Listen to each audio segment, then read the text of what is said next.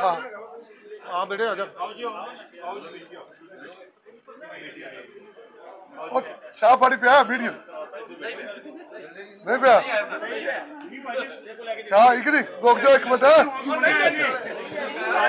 ਕੰਮ ਕਰ ਲਈਏ ਚਾਹ ਵੀ ਪੀਵਾਂਗੇ ਧਾਰੀਵਾਲ ਸਾਹਿਬ ਇਹਨੇ ਗਲੇ 'ਚ ਪਾਇਆ ਉਹਦਾ ਉਹ ਅੰਦਰ ਬੜੇ ਕੇ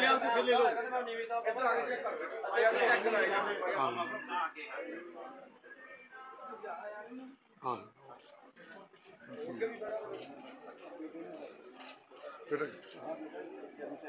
ਤੇ ਸਪੋਕਸ ਪਰਸਨ ਹੈ ਪੰਜਾਬ ਯੂਥ ਕਾਂਗਰਸ ਦਾ ਤੇ ਜ਼ਿਲ੍ਹੇ ਦਾ ਵਾਈਸ ਪ੍ਰਧਾਨ ਹੈ। ਆਓ ਸਰ।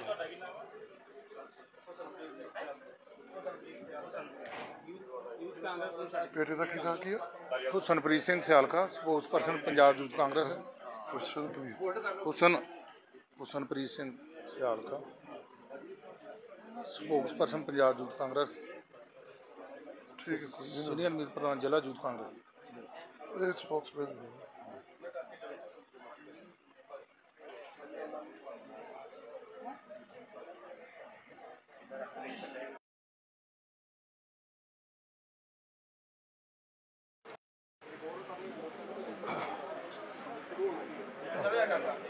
ਉਹ ਲੇਟ ਆ। ਲੇਟ ਆ, ਹੈ? ਚਲੋ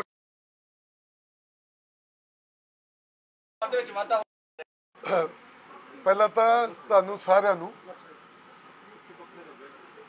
ਅੰਮ੍ਰਿਤਸਰ ਤੋਂ ਸਾਰੇ ਮੀਡੀਆ ਕਰਮੀਆਂ ਨੂੰ, ਸਭ ਨੂੰ ਜੀ ਆਇਆਂ ਧੰਨਵਾਦ ਕਿ ਤੁਸੀਂ ਟਾਈਮ ਕੱਢ ਕੇ ਆਏ ਹੋ। ਅੱਜ ਸਾਡੇ ਪਰਿਵਾਰ ਦੇ ਵਿੱਚ ਬਹੁਤ ਵੱਡਾ ਵਾਧਾ ਹੋਇਆ। ਤੁਸੀਂ ਕੱਲ ਦੇਖਿਆ ਹੋਣਾ ਕਿ ਪੰਜਾਬ ਦੇ ਮਾਨਯੋਗ ਮੁੱਖ ਮੰਤਰੀ ਸਰਦਾਰ ਭਗਵੰਤ ਸਿੰਘ ਮਾਨ ਜੀ ਨੇ ਅਟਾਰੀ ਹਲਕੇ ਤੋਂ ਜਿਹੜੇ ਸਾਡੇ ਬਹੁਤ ਹੀ ਵਧੀਆ ਪਿਆਰੇ ਲੀਡਰ ਕਾਂਗਰਸ ਦੇ ਹਲਕਾ ਇੰਚਾਰਜ ਜਿਨ੍ਹਾਂ ਨੇ 22 ਦੀ ਉੱਥੋਂ ਇਲੈਕਸ਼ਨ ਲੜੀ ਸੀ, ਸਰਦਾਰ ਤਸੀਮ ਸਿੰਘ ਸਿਆਲਕਾ ਜੀ, ਔਰ ਜਿਨ੍ਹਾਂ ਦਾ ਮਜੀਠੇ ਦੇ ਵਿੱਚ ਵੀ ਬਹੁਤ ਵੱਡਾ ਜਿਹੜਾ ਹੋਲਡ ਹੈ। ਔਰ ਉਹਨਾਂ ਦਾ ਬੇਟਾ ਜਿਹੜਾ ਯੂਥ ਕਾਂਗਰਸ ਦਾ ਡਿਸਟ੍ਰਿਕਟ ਦਾ ਵਾਈਸ ਪ੍ਰਧਾਨ ਵੀ ਹੈ, ਹੁਸਨਪ੍ਰੀਤ ਸਿੰਘ ਔਰ ਸਟੇਟ ਦਾ ਸਪੋਕਸਮੈਨ ਵੀ ਹੈ, ਉਹ ਵੀ ਅੱਜ ਮਤਲਬ ਜਿਹੜੇ ਸਾਡੇ ਨਾਲ ਸ਼ਾਮਲ ਹੋਏ ਆ। ਔਰ ਕਮਲ ਨਾਥ ਜੀ ਅੰਮ੍ਰਿਤਸਰ ਦੀ ਸਫ਼ਾਈ ਯੂਨੀਅਨ ਜਿਹੜੀ ਹੈ, ਉਹਦੇ ਪ੍ਰਧਾਨ ਨੇ।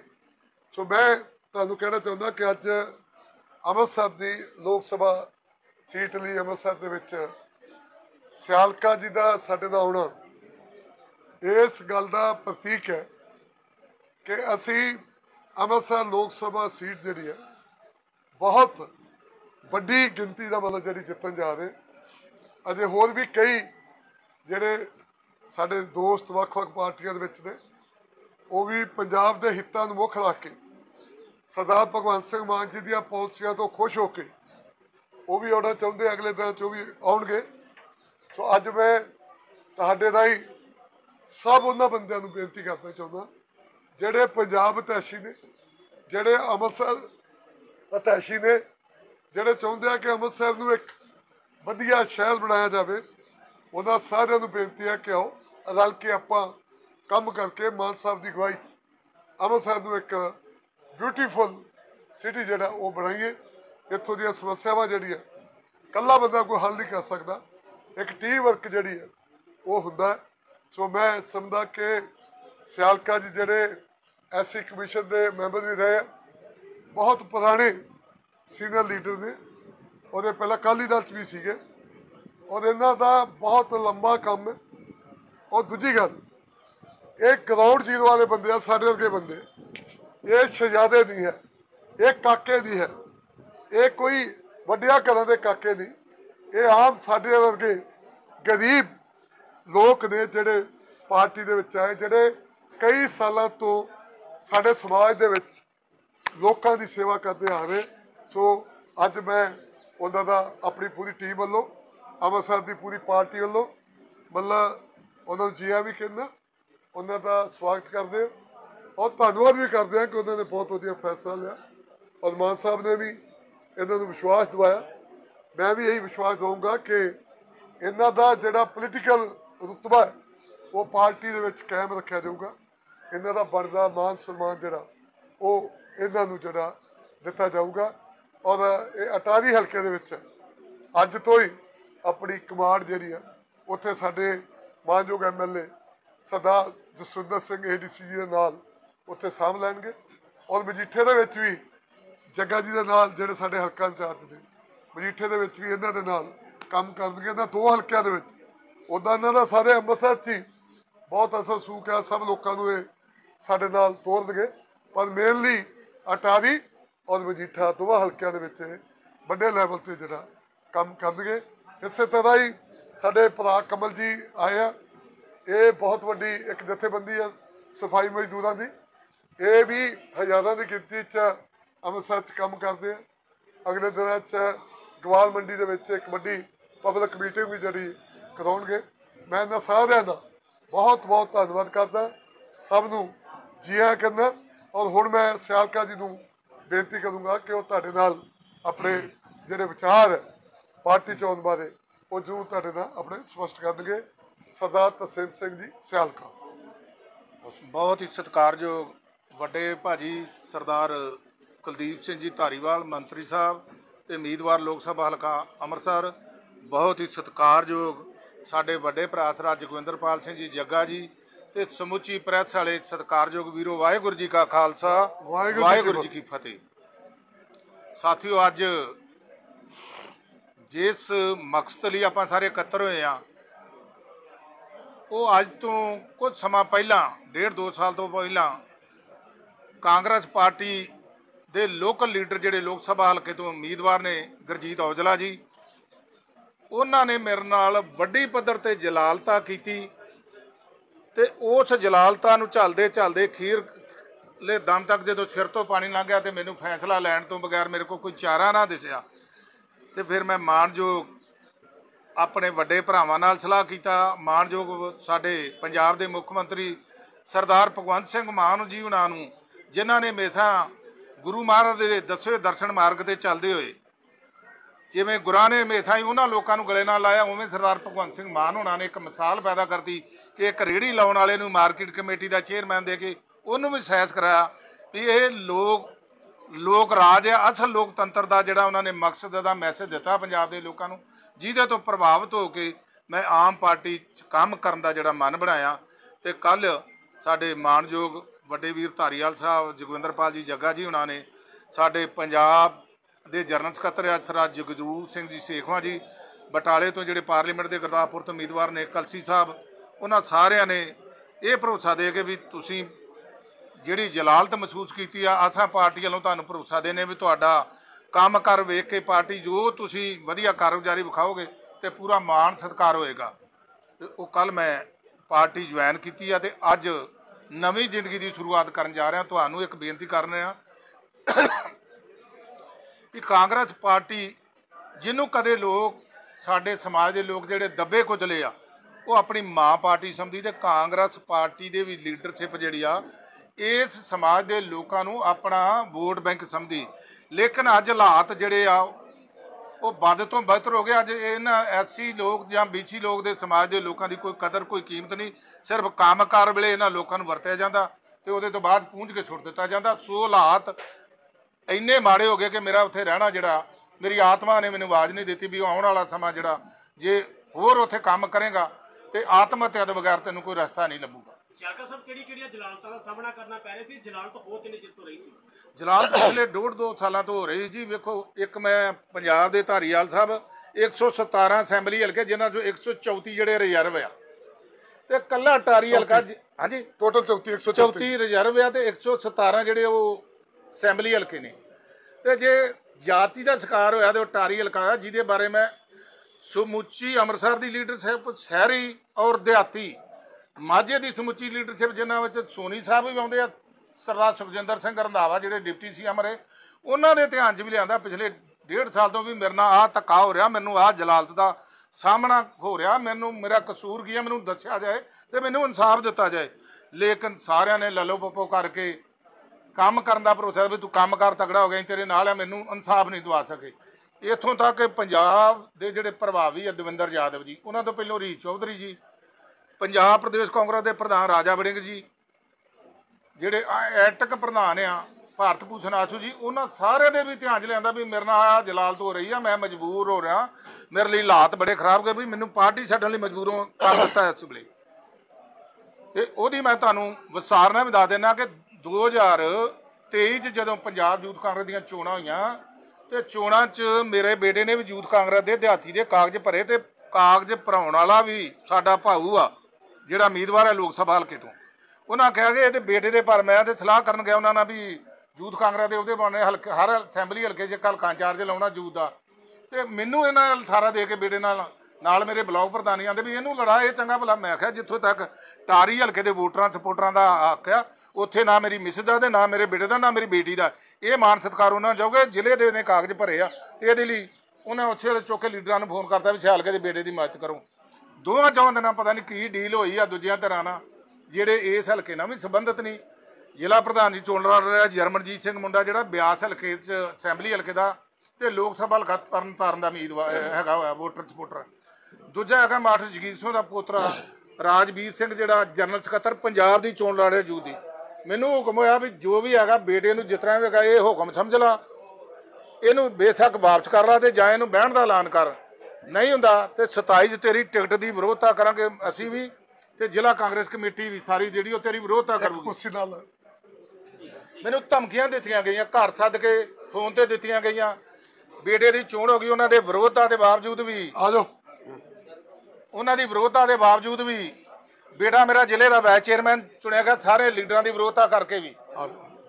ਤੇ ਮੁੜ ਕੇ ਪੰਜਾਬ ਦਾ ਸਪੋਕਸਮੈਨ ਜਿਹੜਾ ਇੱਕ ਮੁੰਡਾ ਸੁਖਵੀਰ ਹੈ ਸਾਡੇ ਪ੍ਰਜਾ ਪਾਤਰ ਬਾਦਰੀ ਨਾਲ ਮਜੀਠੇ ਹਲਕੇ ਦਾ ਉਹ ਜਨਰਲ ਚੋਣ ਲੜਿਆ।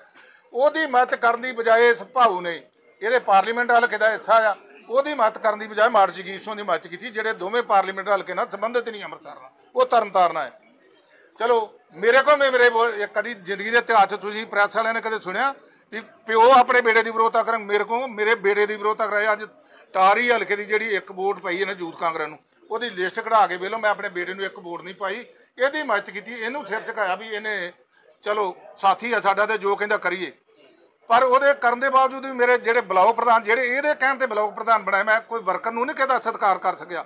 ਕਿਉਂਕਿ ਇਹਨੇ ਧੱਕੇ ਨਾਲ ਮੈਨੂੰ ਬਲਾਕ ਪ੍ਰਧਾਨ ਵੀ ਦੋਵੇਂ ਇਹਨੇ ਆਪਣੇ ਰਿਸ਼ਤੇਦਾਰ ਬਣਾਏ, ਆਪਣੇ ਸੱਜਣ ਬਣਾਏ। ਜਿਹੜਾ ਪੀਪੀਸੀ ਦਾ ਮੈਂਬਰ ਬਣਾਇਆ, ਜਿਹੜੇ ਬੰਦਿਆਂ ਦਾ ਰੈਡੀ ਹਰਜਿੰਦਰ ਸਿੰਘ, ਸੇਖੋ ਮੁੰਡਾ ਸਾਹਮਣੇ ਦਾ। ਇੱਕ ਆਪਾਂ ਵਰਪਾਲ ਵਾਲਾ ਅਵਤਾਰ ਸਿੰਘ ਜੀ, ਲਾਲੀ ਵਰਪਾਲ ਆ। ਉਹਨਾਂ ਦੇ ਨਾਂ ਪਾਏ ਮੇਰੇ ਕੋਲ ਕਟਾਤੇ ਜੀ, ਇਹਨਾਂ ਕਰ ਦਿੱਤੇ ਵੀ ਨਹੀਂ, ਇਹਨਾਂ ਨੂੰ ਨਹੀਂ ਬਣਾਉਣਾ, ਇਹ ਤੇਰੀ ਮਦਦ ਵੀ ਕਰਨਗੇ, ਐਂ ਕਰਨਗੇ, ਜੇ ਕਰਨਗੇ। ਉਹ ਮੁੰਡਾ ਆਪਣੇ ਭਣਵਈਏ ਦੇ ਭਣਵਈਏ ਨੂੰ ਬਣਾਤਾ। ਤੇ ਜਿਨ੍ਹਾਂ ਵਰਕਰਾਂ ਨੇ ਮਿਹਨਤ ਕੀਤੀ ਉਹਨਾਂ ਦਾ ਜੋ ਸਤਿਕਾਰ ਕਰ ਦਿੰਦਾ ਉਹ ਇਸ ਜਲਾਲਤ ਕਰਕੇ ਮੈਂ ਨਹੀਂ ਕਰ ਸਕਿਆ।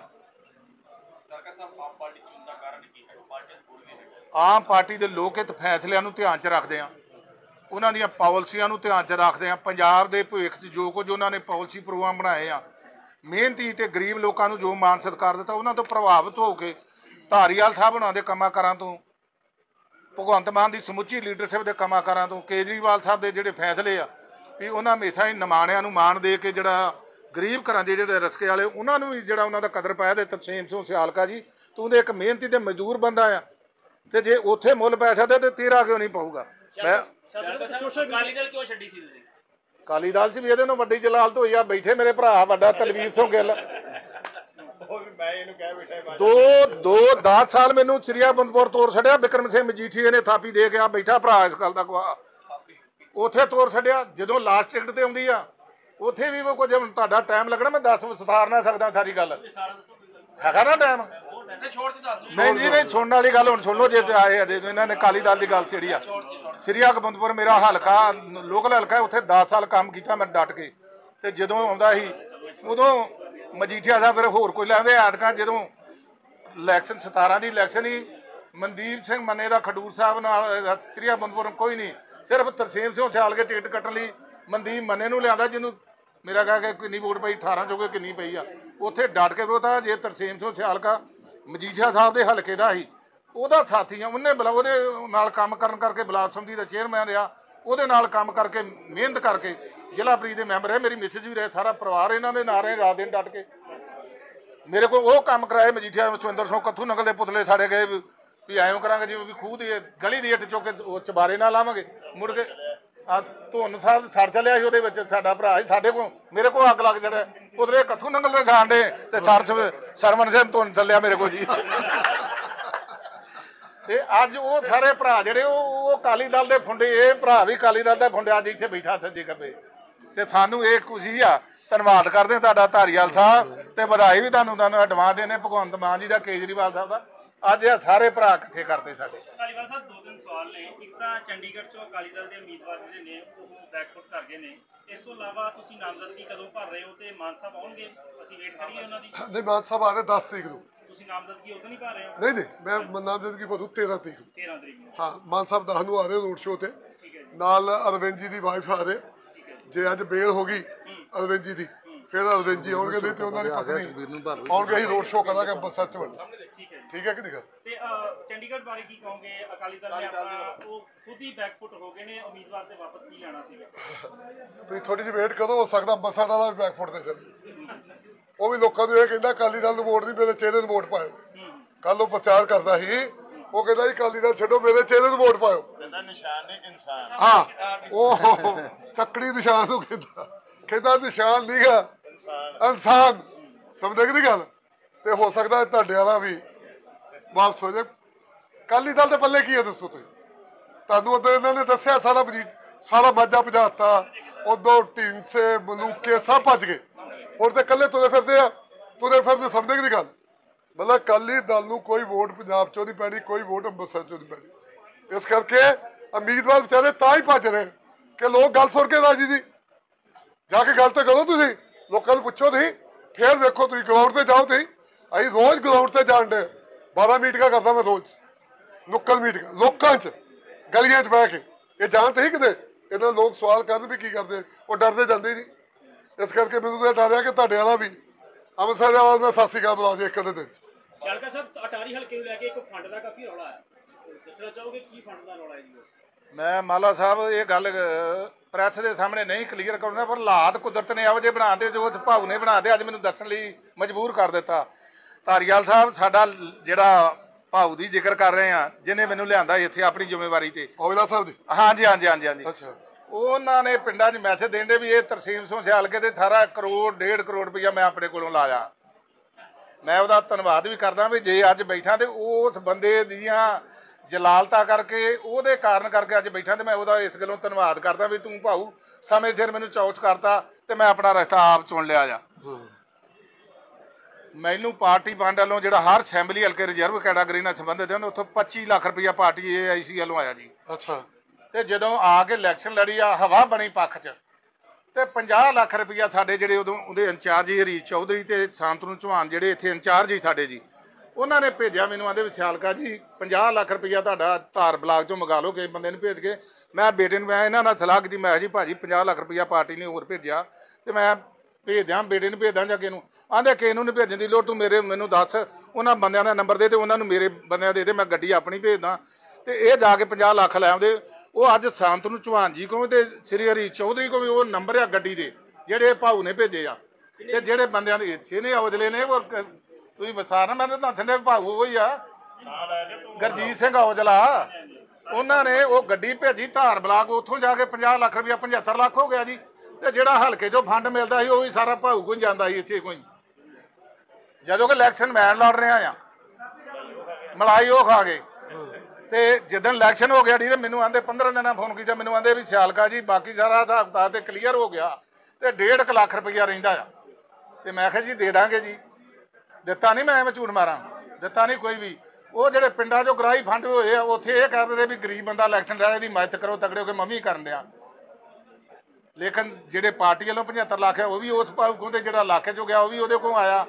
ਤੇ ਪੱਪੂ ਜੈਂਤੀਪੁਰੇ ਦੇ ਘਰ ਮੈਂ ਧਾਰੀਵਾਲ ਸਾਹਿਬ ਚਲੇ ਗਿਆ ਇਨਵਾਈਟ ਕਰਕੇ ਰੇਥੇਦਾਰਾਂ ਦੇ ਪ੍ਰੋਗਰਾਮ ਉਹ ਚਾਹ ਪਾਣੀ ਪਿਆ ਕੇ ਜਦੋਂ ਤੋਰਨਾ ਮੈਨੂੰ ਉਹਦਾ ਸਿਆਲਕਾ ਜੀ, ਉਹ ਹਿਸਾਬ ਕਿਤਾਬ ਜਿਹਾ ਰਹਿੰਦਾ। ਮੈਂ ਕਿਹਾ, ਕਾਹਦਾ ਜੀ? ਉਹ ਆਂਦੇ ਤੇਰੀ ਇਲੈਕਸ਼ਨ ਦਾ 5 ਲੱਖ ਰੁਪਈਆ ਰਹਿੰਦਾ ਮੈਂ ਕਿਹਾ, ਭਾਜੀ, ਮੈਂ ਤੇ ਸ਼ਰਾਬ ਲੈਣ ਆਇਆ ਨਹੀਂ ਤੁਹਾਡੇ ਕੋਲ। ਆਂਦੇ ਔਜਲਾ ਸਾਹਿਬ ਨੇ ਖੜੀ ਤੇ ਮੈਂ ਪੈਸੇ ਉਹਦੇ ਕੋਲ ਮੰਗੋ, ਮੇਰਾ ਤੇ ਹਲਕਾ ਰੋਣ ਡਿਆ। ਸ਼ਰਾਬ ਗਈ ਨਹੀਂ ਕਿਸੇ ਕੋਲ।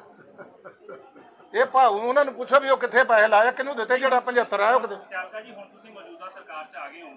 ਜਿੰਨੇ ਵੀ ਤੁਸੀਂ ਇਲਜ਼ਾਮ ਲਾ ਰਹੇ ਹੋ ਚਾਹੇ 75 ਲੱਖ ਹੈ ਚਾਹੇ 5 ਲੱਖ ਹੈ ਚਾਹੇ 50 ਲੱਖ ਹੈ ਉਹਦੀ ਜਾਂਚ ਕਰਵਾਓਗੇ? ਭਾਜੀ ਮੈਂ ਸਬੂਤਾਂ ਦੇ ਆਧਾਰ ਤੇ ਸਬੂਤ ਆ ਮੇਰੇ ਜਿਹੜਾ 25 ਲੱਖ ਮੇਰੇ ਕੋਲ ਗਿਆਨ ਆ ਜੀ ਏਆਈਸੀ ਵੱਲੋਂ ਫੰਡ ਆਇਆ ਐਸਡੀਐਫ ਬੈਂਕ ਚਵਿੰਡਾ ਦੇ ਵਿੱਚ ਮੇਰਾ ਖਾਤਾ ਆ ਉਹਦੀ ਸਟੇਟਮੈਂਟ ਕਢਾ ਕੇ ਮੈਂ ਕੱਲ ਪ੍ਰੈਸ ਦੇ ਸਾਹਮਣੇ ਰੱਖ ਦੇਣਾ ਵੀ ਕਿਤੇ ਕਿਤੇ ਲਿਖਤ ਦੇ ਵਿੱਚ ਸੀਐਮ ਮਾਨ ਸਾਹਿਬ ਨੂੰ ਤੁਸੀਂ ਦਵੋਗੇ ਸ਼ਿਕਾਇਤ ਮੈਂ ਦਵਾਂਗਾ ਮੈਂ ਦਵਾਂਗਾ ਜੇ ਲੋੜ ਪਈ ਜੇ ਜੀ। ਇਹ ਤਾਂ ਨਹੀਂ ਤਰਸੀਮ ਸਿੰਘ ਸਿਆਲਕਾ ਉਹ ਪੈਸੇ ਬਚਾਉਂਦਾ ਕਰਕੇ ਆਮ ਆਦਮੀ ਪਾਰਟੀ ਚ ਚਲ ਗਿਆ ਜੀ। ਭਾਜੀ ਮੈਂ ਉਹ ਪੈਸੇ ਦੇ ਸਾਰੇ ਉਸ ਪਾਉ ਕੋ ਚਲ ਗਏ। ਮੇਰੇ ਕੋਲ ਕਿਦੋਂ ਮੈਂ ਤੇ ਅੱਜ ਵੀ ਤਰਸਦਾ ਫਿਰਦਾ ਤੇ ਕੱਲ ਵੀ ਤਰਸਦਾ। ਮੈਂ ਤੇ ਇੱਕ ਮਜ਼ਦੂਰ ਬੰਦਾ ਗਰੀਬ ਪਰਿਵਾਰ ਤੋਂ। ਪੈਸੇ ਖਾਦੇ ਗਏ ਐਕਸ਼ਨ ਜਾਂ ਕਾਂਗਰਸ ਕਾਲੀਆਂ ਤੇ ਕਿੰਨੇ ਕੁ ਤੇ ਕਰਾਂਗੇ? ਫੇਰ ਐਕਸ਼ਨ ਤੇ ਲਾਣਾ ਲੱਗਿਆ ਪਿਆ ਲੋਕਾਂ ਦੀ ਇਹ ਦਬਾਅ ਬਣਾਇਆ ਜਾਂਦਾ ਵੀ ਟਿਕਟ ਜਿਹੜੀ ਅਸੀਂ ਦਵਾਈ ਆ ਹੁਣ ਆਹ ਸਾਡਾ ਭਰਾ ਜਗਵਿੰਦਰਪਾਲ ਸਿੰਘ ਜੱਗਾ ਇਹਨਾਂ ਦਾ ਵੀ ਰੋਲ ਆ। ਟਿਕਟ ਖੀਰ ਮੇਰੀ ਫਾਈਨਲ ਕਰਾਈ ਨਵਜੋਤ ਸਿੰਘ ਸਿੱਧੂ ਨੇ ਉੱਥੇ ਬਾਹਾਂ ਖੜੀਆਂ ਕਰ ਗਏ ਇਹ ਭਾਊ ਇਹ ਆਂਦਾ ਮੈਂ ਟਿਕਟ ਦਵਾਈ ਆ। ਪੈਸੇ ਪੂਸੇ ਵੀ ਕਹਿੰਦੇ ਲਏ ਆ ਜੀ ਕਾਂਗਰਸ ਦੇ ਵਿੱਚ ਜਿਹੜੀ ਟਿਕਟ ਤੁਹਾਨੂੰ ਦਿੱਤੀ ਗਈ ਹੈ ਨਹੀਂ ਜੀ ਮੇਰੇ ਕੋਲ ਟਿਕਟ ਦੇ ਪੈਸੇ ਨਹੀਂ ਲਏ ਜਿਹੜੇ ਆਇਆ ਫੰਡ ਉਹ ਦਿੱਤੇ ਆ ਇਹਨਾਂ ਨੂੰ। ਟਿਕਟ ਦਾ ਨਹੀਂ ਮੈਂ ਕਿਸੇ ਨੂੰ ਦਿੱਤਾ। ਟਿਕਟ ਦਾ ਫੰਡ ਦਾ ਇਹ ਰੌਲਾ ਪਿਆ ਸੀ ਵੀ ਨਵਜੋਤ ਸਿੰਘ ਸਿੱਧੂ ਨਾਲ ਤੇਰੀ ਗੱਲ ਹੈਗੀ ਸਿਆਲਕਾ ਜੀ। ਮੈਂ ਜੀ ਮੇਰੀ ਗੱਲ ਹੈਗੀ ਅਕਾਲੀ ਦਲ ਚ ਇਕੱਠੇ ਕੰਮ ਕੀਤੇ ਪਰ ਮੇਰੀ ਇੱਕ ਕਮਜ਼ੋਰੀ ਆ ਵੀ ਮੈਂ ਜਿਸ ਪਰਿਵਾਰ ਨਾਲ ਚੱਲਿਆ ਭਾਵੇਂ ਉਹ ਬਿਕਰਮ ਮਜੀਠੀਆ ਸੀ ਚਾਹੇ ਗੁਰਜੀਤ ਸਿੰਘ ਔਜਲਾ ਸੀ ਤੇ ਚਾਹੇ ਮਜੀਠੀਆ ਪਰਿਵਾਰ ਹੈ, ਜੱਗੇ ਹੋਣੀ ਜਾਂ ਬਾਪੂ ਪ੍ਰਕਾਸ਼ ਹੋਣੀ, ਮੈਂ ਉਹਨਾਂ ਦਾ ਹੀ ਪੁਜਾਰੀ ਨੇ, ਮੈਂ ਦਰ ਦਰ ਤੇ ਜਿਹੜਾ ਮੱਥੇ ਨਹੀਂ ਟੇਕੇ ਜਾ ਕੇ। ਤੇ ਮੈਂ ਕਿਹਾ ਜੀ, ਮੈਂ ਤੇ ਤੁਹਾਡਾ, ਮੈਂ ਸਿੱਧੂ ਵੱਲ ਨਹੀਂ ਕਦੀ ਗਿਆ। ਆਂਦੇ ਫਿਰ ਟਿਕਟ ਆਪਣੀ ਅੜ ਗਈ ਆ ਤੇ ਨਵਜੋਤ ਸਿੱਧੂ ਦੀ ਮਿਸ ਜਿਹੜੀ ਆ, ਉਹ ਟਿਕਟ ਤੁਹਾਡੀ ਕਲੀਅਰ ਕਰ ਦੂ ਪਰ ਉਹ ਰੁਪਈਆ 20 ਲੱਖ ਮੰਗਦੀ ਆ। ਤੇ ਮੈਂ ਕਿਹਾ ਜੀ, ਮੈਂ ਤੇ ਉਹਨਾਂ ਨਾਲ ਕੋਈ ਗੱਲ ਨਹੀਂ ਕਰ ਰਿਹਾ। ਆਂਦੇ ਵੀ ਕੋਈ ਸੱਜਣ ਹੈ ਮੈਂ ਤੇਰੇ ਨਾਲ ਤੋਰਨਾ, ਉਹ ਸੱਜਣ ਨੂੰ ਮੇਰੇ ਨਾਲ ਤੋਰਿਆ ਨਾ, ਨਵਜੋਤ ਸਿੱਧੂ ਦੇ ਘਰ ਜਾਣ ਲਈ ਪਟਿਆਲੇ, ਵੀ ਉੱਥੋਂ ਕਲੀਅਰ ਹੋ ਜੂਗੀ। ਉਹਨੇ ਟਿਕਟ ਸਾਡੀ ਉੱਥੇ ਸਿੱਧੂ ਨਾਲ ਗੱਲ ਹੋ ਗਈ, ਜਲੰਧਰ ਲੱਖੀ ਢਾਬੇ ਦੇ ਆਂਦਾ ਸਿਆਲਗਾ ਟਿਕਟ ਤੇਰੀ ਕਲੀਅਰ ਆ ਤੇ ਤੂੰ ਜਾ ਕੇ ਕੰਮ ਕਰ ਮੇਰੇ ਕੋਲ ਨਹੀਂ ਆਉਂਦੀ ਲੋੜ। ਉਹ ਪੈਸੇ ਨਾ ਦੇ ਨਵਜੋਤ ਸਿੰਘ ਸਿੱਧੂ ਨੇ ਮੰਗੇ ਤੇ ਨਾ ਸਿੱਧੂ ਦੀ ਘਰ ਦੀ ਨੇ ਮੇਰੇ ਕੋਲ ਮੰਗੇ ਮੈਂ ਸਾਹਮਣੇ ਨਹੀਂ ਹੋਇਆ। ਪਰ ਇਸ ਭਾਵ ਨੇ ਕਿਹਾ ਵੀ ਉਹ 20 ਲੱਖ ਉਹਨੂੰ ਮੈਡਮ ਨੂੰ ਦੇਣਾ ਪੈਣਾ ਆਪਾਂ ਨੂੰ। ਨਹੀਂ ਮੈਂ ਮੇਰੇ ਕੋਲ ਹੈ ਨਹੀਂ ਮੈਂ ਦੇਣੇ ਕਿੱਥੋਂ? ਮੇਰੇ ਕੋਲ ਤਾਂ 36 ਅੱਠੀ ਹੈਗਾ ਲੱਖ ਜਿਹੜਾ ਘਰੇਲੂ ਸੀ। ਉਹ ਅਸੀਂ ਆਪਣੀ ਕੋਠੀ ਲੈ ਕੇ ਜਿੱਥੇ ਕਰਾ ਰਹੇ ਕਿ ਸੱਜਣ ਦੇ ਉੱਥੇ ਜਿਹੜਾ ਸੱਜਣਾ ਦਾ दारू ਪਾਣੀ ਲੰਗਰ ਪਾਣੀ ਤੇ ਗੱਡੀਆਂ ਤੇਲ ਪਾਣੀ ਉਹ ਉਹਦੇ ਨਾਲ ਚਲਾਇਆ ਮੈਂ ਜੀ। ਨਾ ਮੈਂ ਇਹਨੂੰ ਨਗਦ ਦਿੱਤੇ ਘਰੋਂ ਲਿਆ ਕੇ ਤੇ ਨਾ ਇਹਦੇ ਕੋਲ ਲਏ। ਇਹਦੀ ਸੱਸ ਨੇ ਮੈਨੂੰ 5000 ਰੁਪਇਆ ਚੱਕਣ ਦਿੱਤਾ ਸੀ। ਉਹ ਮੈਂ ਇਹਨਾਂ ਦਾ ਰਹੀ ਜੀ ਕਹਿਣਾ ਐਸੀ ਭਾਈ ਜਿਹੜੇ ਜਿਹੜੀ ਜਲਾਲਤ ਅੱਜ ਹੋ ਰਹੀ ਆ ਨਾ ਵੇਖੋ ਮੈਨੂੰ ਜਿਵੇਂ ਪਿੰਡਾਂ 'ਚ ਆਪਾਂ ਸਰਪੰਚ ਨਹੀਂ ਨਾ ਬਣਾ ਲੈਂਦੇ ਵੀਰ ਬੰਦੇ। ਵੀ ਸਰਪੰਚ ਸਾਡੇ ਨਾਲ ਆਥਰੀ ਦੇ ਲਗਾ ਦੇ ਚੱਲ ਇਹਨੂੰ ਬਣਾ ਲਓ ਗੂਠਾ ਇਹਦਾ ਲਵਾਇਆ ਕਰਨਾ ਪੈਸੇ ਅਸੀਂ ਕੈਚ ਕਰਾ ਰਿਆ ਕਰਨੇ। ਉਹ ਇਹ ਗੱਲ ਸਮਝਦੇ ਤਰਸੇਮ ਸਿਆਲ ਕੇ ਨੂੰ ਵੀ ਉਹ ਬਣਾਉਣਾ। ਤੇ ਮੈਂ ਤੇ ਕਦੇ ਨਹੀਂ ਬਣਦਾ ਮੈਂ ਤੇ ਵਿਕਰਮ ਜੀਠੀਆ ਦੀ ਨਹੀਂ ਪ੍ਰਵਾਹ ਕੀਤੀ। ਇਹ ਵਿਚਾਰਾ ਕਿਹੜੇ ਬਾਗ ਦੀ ਮੂਲੀ ਆ?